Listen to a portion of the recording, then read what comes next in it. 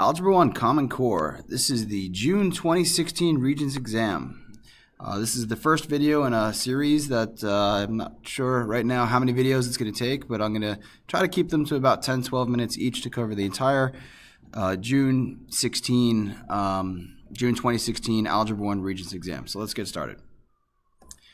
Number one, the expression x to the fourth minus 16 is equivalent to what? This is a factoring question. Uh, it looks like a factoring question. Uh, you can see it's got the double parentheses from there. Uh, you definitely got to be familiar with the types of factoring you're going to see here. Um, trinomial factoring, there's difference of two squares factoring. Uh, GCF is really the first thing you should look for right away.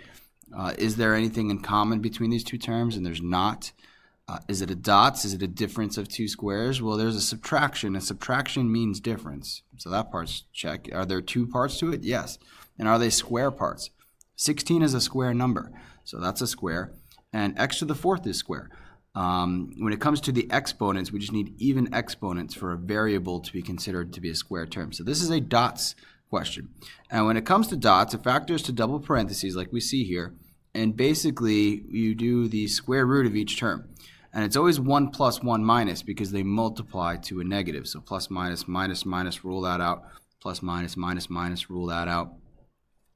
But 1 plus 1 minus, and really the only thing that I can really trip you up here is what's the square root of 16? It is not 8. The square root of 16 is 4. Now you're going to have a lot of time to take these Regents exams, three full hours. So a question like this, you know, might as well check the work. And what you could do is simply distribute, kind of work backwards. Factoring is basically dividing distribute distribution distributing is multiplication going the other way. So if you take this answer, you think it's x to the fourth plus 4 and x to the fourth minus 4, and you distribute it. x to the fourth, uh, x to the second times x to the second is x to the fourth. x squared times negative 4 is negative 4x squared. 4 times x squared is positive 4x squared. And 4 times negative 4 is minus 16. You have additive inverses here, which cancel each other out, and you're left with x to the fourth minus 16. So you could have confidence you have the right answer. Number two, an expression of the fifth degree. Now, I, I tell my students this all the time. The two most helpful test taking strategies, and if you're one of my students watching this video, you're sick, probably sick of me saying this, is to circle key things in the question and then read it again after you answer the problem. So right away, an expression of the fifth degree is something we're circling is written with a leading coefficient of 7, a leading coefficient of 7, meaning the first coefficient is 7, or the coefficient of the highest exponent. Now, a fifth degree means that the highest exponent is degree. A constant of 6, a constant is a number that doesn't have a variable attached to it. So a constant of 6. This is a constant of 7, a constant of 5, a constant of 5. This is a constant of 6. So right away, I'm pretty sure the answer is D, but let me check the other pieces to it which expression is written correctly uh, for these conditions. So is this a fifth degree? Yes, the highest exponent is 5. Is the lead coefficient 7? The coefficient of the term with the highest exponent is 7, so yes, that is my answer. And again, kind of sift through the question, read it again to yourself, make sure you answered it properly. But rereading catches a lot of mistake, but circling key things in the problem is probably the best thing you could do.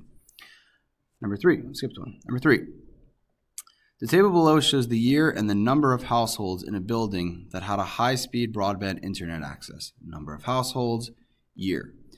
Clearly, the first thing I'm recognizing is that the number of households is increasing as the year increases. It's a positive correlation.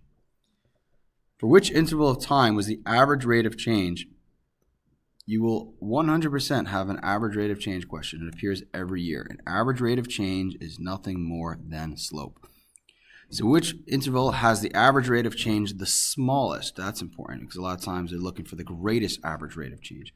So basically, I'm looking for the smallest change. You know, so you know, how did it change? I mean, you could do slope, but on a question like this, I think you can kind of just see because this is, you know, two-year difference, two-year difference, two-year difference, two-year difference. So they're all over two years. So what was the increase from 2002 to 2004? From two to four was 11 to 23. Let's see, that's uh, 23 minus 11 is, sorry, that moved, um, 12. All right, so that an increase of 12. How about from 3 to 5? That's 16 to 33. 33 minus 16 is 17. So that's larger. We're looking for the smallest. 4 to 6, 23 to 42. 42 minus 23. Remember, we're doing the second minus first because that's slope. Your slope formula is y2 minus y1 over x2 minus x1. Now, all of these would be over 2.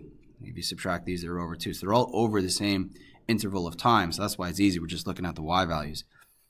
So uh, 42 minus 23, uh, what is that going to be? That's going to be 19.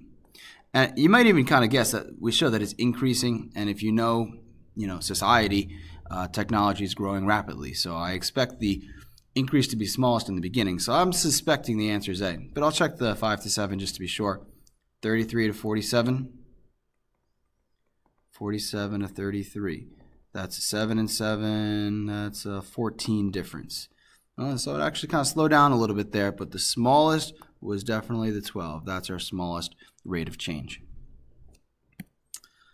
Number four, scatter plot below compares the number of bags of popcorn to the number of sodas sold at each performance uh, at each performance of the circus over the week. So, you know, take a look, kind of understand the chart here that, all right, like here we had 200 bags of popcorn sold and about 200 sodas sold, you know, right there. This one is we sold about 400 bags of popcorn and we sold, you know, about 425 sodas. It seems like the more popcorn we sell, the more sodas we sell. This is a positive correlation. But let's see what this question is asking us. What conclusion can be drawn from the scatter plot? There's a negative correlation? No, we just said it was positive. There's a positive correlation between popcorn and soda? Absolutely, but let me check the others. This is what I would call a true-false question, where one of your answers is going to be true and so on. So I like to make little T's and F's next to them. So this is a false statement. I believe this to be a true statement, but I'm not going to stop there because if I keep going and get another T, well then maybe I'm reading the question wrong or I'm doing something wrong because I should only have one true statement. Uh, and sometimes you'll catch mistakes that way. There is no correlation. That's not true. Buying popcorn causes people to buy soda. That's kind of tough. I mean, that could be true or false. I mean, there's not evidence here. You know, causation is a little bit different than correlation. You know, um, does this prove they're related? Yes, but does it prove that more popcorn causes more soda? Or could it be that buying more soda causes people to like? you know, you kind of suspect maybe that's true, but I don't think there's concrete evidence here to show that. If this was like, you know, amount of gas in the car and the distance it could drive, then yeah, you know there's a causation there. There is a relationship here, but you know, is there a rule that the more popcorn you buy, the more soda you have to buy? Uh, you know, not really. So I'm going to say false there and go with my initial choice of B. Um, now, this is a how do we know this is a positive correlation? Well, if I draw that line of best fit, this is a positive slope. It's going up and right. You know, sometimes I call it an incline or it's increasing. Like as we, you know, I read this sentence and I write words left to right. It's the same way you got to read graphs. You start here on the left and you travel to the right. As we travel to the right, we're going up. That is a positive slope trend you know, and that's what a positive correlation is.